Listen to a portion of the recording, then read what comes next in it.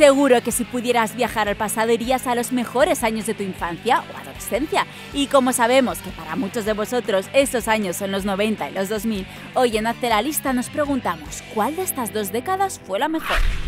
Vamos a ponernos en situación.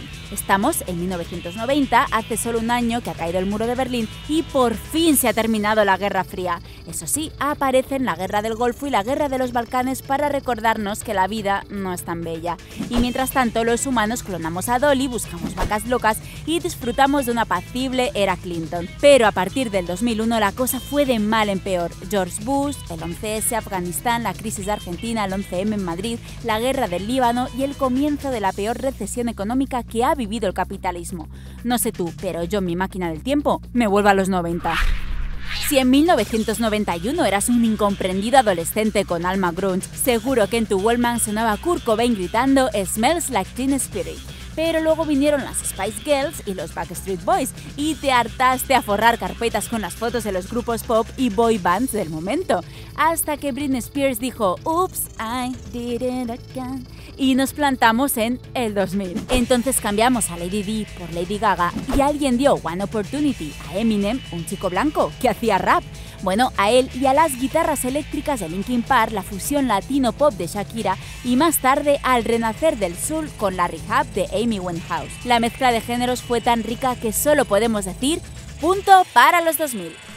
En los 90, Tarantino hizo que muchos se engancharan a los diálogos ingeniosos y la violencia de pelis como Reservoir Dogs o la imitadísima Pulp Fiction. Pero si John Travolta pegando tiros no era tu debilidad, te ibas al videoclub y alquilabas Forrest Gump o La vida es bella para reír y llorar a la vez.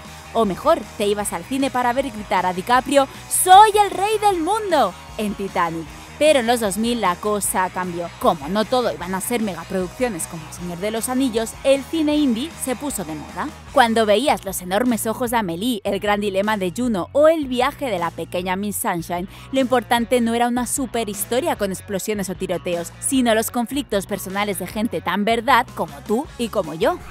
Hubo una época en la que encender la tele para ver a Will Smith en El Príncipe de Bel Air, a Homer pilotando el monoraíl o a Rose en Friends poniéndose unos pantalones de cuero molaba todo. Y aunque por las noches la gente se pusiera serie cazando ovnis con Mulder y Scully, las series de los 90 no tienen nada que hacer contra las que vinieron después. A partir de los 2000 los guionistas se volvieron más intensos y profundos. Con Perdidos, Los Soprano o Breaking Bad vinieron los personajes con claroscuros, un poco más complejos que Carlton Banks bailando por Tom Jones. Los Pilares de la Tierra fue el primer gran bestseller noventero, pero no el único. Con John Grisham, medio mundo se enganchó a los thrillers.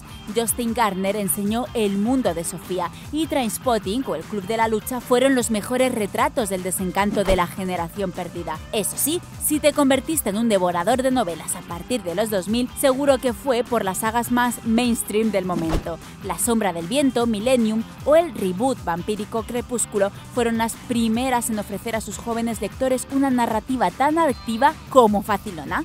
Mejor los 90, ¿no? Ser niño en los 90 significaba jugar día y noche a Pokémon, Zelda y Mario Bros. con la primera y supermoderna Game Boy de 8 bits. Unos años después nacieron la Nintendo 64 y la PlayStation, y Pikachu tuvo que hacerle hueco a las aventuras del Final Fantasy VII, a los mamporros de Tekken 3 y a las carreras locas de Mario y Luigi. Pero en los 2000 el mundo gamer se revolucionó por completo. La esperadísima Play 2 inauguró el siglo XXI y a ella le siguieron el gran boom de las consolas, Xbox, GameCube, Nintendo DS, PSP, Wii. El catálogo de juegos y consolas fue tan grande que, claro, muchas de ellas, como la Dreamcast, fueron un absoluto fracaso. En los 90, el look de Jennifer Aniston era look de media humanidad. Melena capas, raya al medio, mechas rubias, camisetas con estampados y pantalones rotos de cintura alta, muy alta. Pero llegaron los 2000 y volvieron los pantalones de campana, tops con brillantes rosas con los que enseñar el piercing del ombligo. En estos años a los chicos no les importaba llevar lo que sus madres llamaban pantalones cagaos, camisetas extra grandes y en la cabeza la cresta de Beckham. Yo aquí veo un pate, ¿no?